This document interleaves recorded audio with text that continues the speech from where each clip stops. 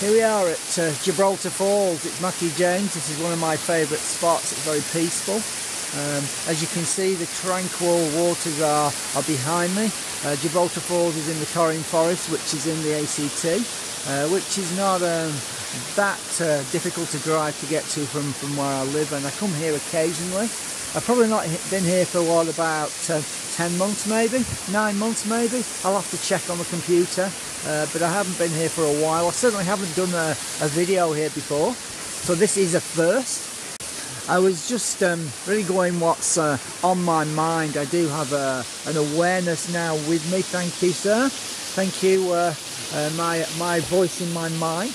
Um, it's really about um, being cautious what your thoughts are and how your thoughts are created and um, where your thoughts originate from because I'm working in um, in observant mind mode. Um, I'm observing my thoughts at the moment. So really, what's going on in my head is is I've got the awareness of um, where I'm standing. I've got an awareness that it's um, fairly chilly this moment, this this morning, and I'm also got a, a feeling of um, what my what my own physical conditions are are like. Um, Thank you. I do understand now where I actually want to go with um, this information. I want to actually talk about physical mediumship. Um, a form of physical mediumship that is clairsentience, clear feeling, clear sensing. So there's clear sentience and clairsentience. Uh, they are they are similar but they are different. One is clear sensing, one is clear feeling.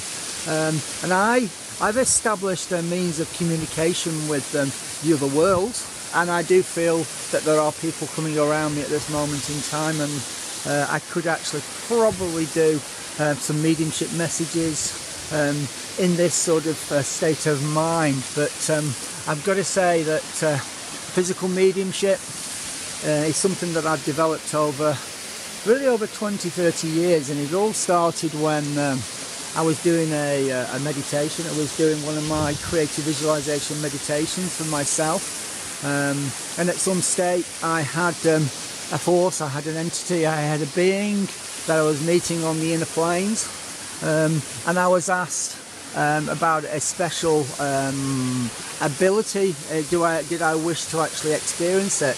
And during the meditation, it was very easy. Yes, uh, beings, people, uh, ex-humans, other worlders want to come to the earth plane and they do want to uh, interact with people on the earth plane but uh, those that have had the extreme physical conditions won't actually come because the pain or the memory of the pain or the memory body is too great in order to uh, make communications so what we want you to do and bear in mind I was um, I was a youngster at this time I was in my I was in my 20s and I was agreeing to anything and everything that was being um, thrust in my path I, I agreed during this inner planes meditation that yeah, go on then, I'll feel these pains, I'll take these pains on board, go on, I'll do that. So that means I can actually communicate um, on behalf of these these um, ex-humans. Didn't realise the implications of this. Really until I was doing uh, my first expo uh, in Liverpool in the UK um, I'd sat down, I was uh, wet behind the ears, I was cutting my teeth doing um, these uh, these expos and this gentleman sat down and uh, I do remember it quite plainly, this gentleman sat down and straight away um, my heart felt like it was bursting. I, I, really felt like I was having a major, major heart attack. I'd of course forgotten the, the agreement, I'd forgotten the contract that I'd, uh, I'd made with the other worlds and I began having this major heart attack. I began having all these uh, really bad pains and uh, my uh, my client was getting most concerned because uh, I, I didn't I was panicking. I didn't know how to cope. But um, once I'd uh, established that the heart attack or the condition had passed um, I suddenly realized that um, I had the gentleman's father. And I was able to make a connection with the father and communicate with the father and it turned out that uh, the condition that I had and the way that I uh, I was replaying a passing was exactly how this uh, this gentleman's father had passed. So um, I sort of passed this realization on to um, to my client who was gobsmacked because I'd actually he'd actually witnessed his father's passing and uh, what I'd actually done was emulate exactly how um, his father had passed so that was the very first time that I actually used this clairsentience, clairsentience physical mediumship ability that I actually used during uh, readings. And here we are probably about um, 28 29 years on because um, it didn't happen straight away in my career.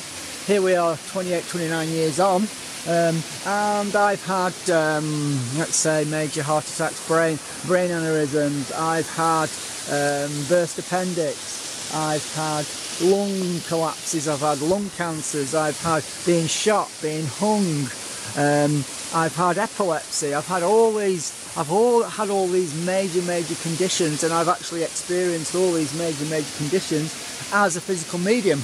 And you do actually feel the conditions and there is a, on many occasions where I've had a really bad night I've had a terrible night's sleep I've had palpitations I've had heart conditions I've had banging kidneys I've had sore lungs I've had terrible backs um, I've had headaches and 99.9% of the time because some of the time it is me 99% of the time 99.9% um, percent of the time I should say um, they have been for my, my first client of the day, either at home or an expo. So um, the way to explain that is, is, is that they, the ex-human has made the uh, connection with me um, during my sleep state when I've been at my most relaxed and they have been standing around me waiting for me to um, make a connection with their loved one with their with their um, their human uh, human counterpart here on the earth plane. So that's um, just a little sample of how, uh, how my physical mediumship works. Now, uh, obviously with observant mind and with techniques that I use, I do question every single thought, every single um, moment that I am in the, the state of connection with the other world. It is something that I've developed and it's something that I, I stress that you guys who are doing the mediumship do need. This is a this is a real voice of experience. This is a wise one. This is an elder. This is somebody who has been doing it for a very long time, who does watch the industry and does see all the mistakes and does shake his head um, in alarm when he sees how a lot of people are working um, this in this industry. Uh, even the established ones, even the ones that have done the Stansted Hall and have made themselves well known, who I've been up on stage with, even they falter. Even they have to. Um, I've got a, um, I've got somebody's um, sister here going to the first table. Am I with you? No. Sorry, I haven't got a sister that's died. Going to the next table. Am I with you with a sister that's died? No. Am I with you? I'm going around all the tables until um, they'd found the table where a sister had died, but unfortunately it was the wrong sister, and the information that was passed on to this person was completely inaccurate. It was forced on them. They were told that they can't say yes or no. They were told, shush, shush, shush, I'll tell you. And it was completely, totally, and utterly wrong. And that's not mediumship. That's not even cold reading. That is just somebody who um, is. Uh, giving the appearance of being a physical medium but hasn't got information. I'm sorry, but I have to say that there is too many of that type of person out there giving the likes of me. So I'm really leave you at this point. And I'm just going to do a little bit more wandering. So you've been listening to Matthew James. That is Gibraltar Falls in the background, and I have been talking about my physical mediumship. Thank you for now. Bye, everybody.